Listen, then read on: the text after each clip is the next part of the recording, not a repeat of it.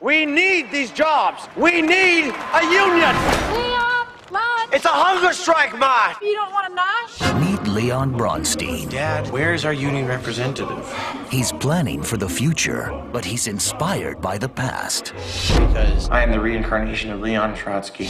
Leon Trotsky, Russian revolutionary leader, 1879 to 1940. He was murdered with an ice pick? What?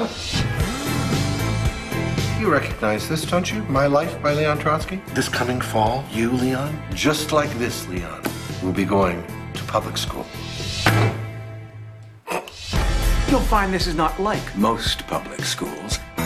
I'm here to discipline the students. See you in detention. Detention. Detention. What sort of legislative powers do you guys have? Dad? Do you guys want to form a real union? Why do you think high school should be unionized? The teachers have a union. I think we deserve the same. You're getting pretty famous. But you won't stop me. I don't think you need a lawyer. Oh, yes, I do. This is Leon. Uh, what is your name? Alexandra. You and I are going to get married.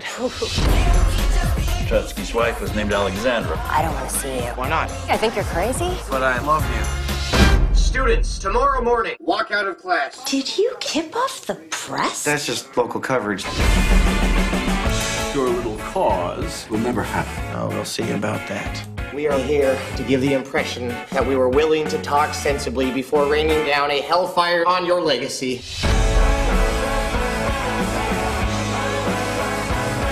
This isn't over. We both know that it pretty much is. Mr. Bronstein!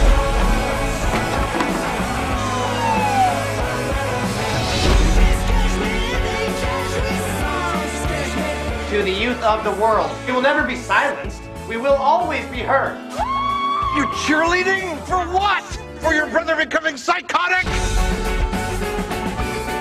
Stop asking me to marry you. Was that a no? Hey, come on, that was a joke.